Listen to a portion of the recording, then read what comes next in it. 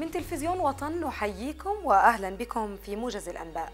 وقع الرئيس الفلسطيني محمود عباس ورئيس المكتب السياسي لحركة حماس خالد مشعل اليوم الاثنين على إعلان الدوحة الذي جاء بعد سلسلة مباحثات جرت بينهما أمس الأحد في العاصمة القطرية الدوحة برعاية أمير قطر الشيخ حمد بن خليفة الثاني وتم الاتفاق على تشكيل حكومة كفاءات برئاسة الرئيس محمود عباس للإعداد للانتخابات الرئاسية والتشريعية وعلى ضرورة إعادة تشكيل المجلس الوطني الفلسطيني والتأكيد على الاستمرار في خطوات تفعيل منظمة التحرير بالتزامن مع الانتخابات.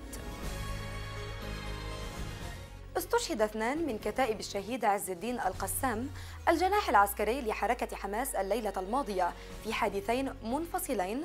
أحدهما استشهد جراء انهيار نفق للمقاومة والآخر في حادث عرضي. اعتقلت قوات الاحتلال الإسرائيلي صباح اليوم الاثنين المواطن يعقوب أحمد شتاوي بعد الاعتداء عليه بالضرب المبرح أثناء تصديه للجرافات العسكرية الإسرائيلية التي جرفت أرضه شمال قرية كفر قدوم بمحافظة قلقيلية.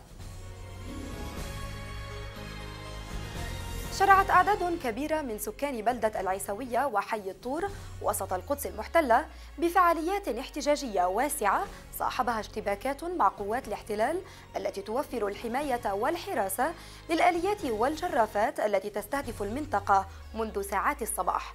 كما واعتقلت قوات الاحتلال أحد أصحاب هذه الأراضي وهو المواطن توفيق أبو سبيتان بعد أن انهالوا عليه بالضرب المبرح. رفض 25 مدرسا إسرائيليا الانصياع لقرار وزير المعارف الإسرائيلي إلزام الطلبة بزيارة الخليل كونها تشكل إرثا تاريخيا لإسرائيل على حد زعمه حيث اعتبروا هذا القرار يسعى لخلق واقع جديد حول الاستيطان في الضفة الغربية وإرغام الطلبة على التضامن مع الاستيطان والمستوطنين.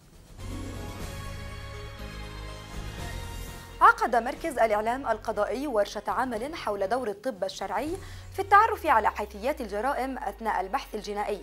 وقال القاضي بلال أبو هنطش إن الطب الشرعي بحاجة إلى عملية تطوير متواصلة وتوفير عدد من الأطباء والخبراء في هذا المجال إلى جانب ضرورة وجود عدد من المواد والأجهزة المساندة. لتفاصيل هذه الأنباء وغيرها بإمكانكم متابعة نشرة وطن الإخبارية عند الساعة الثامنة. دمتم بخير وإلى اللقاء.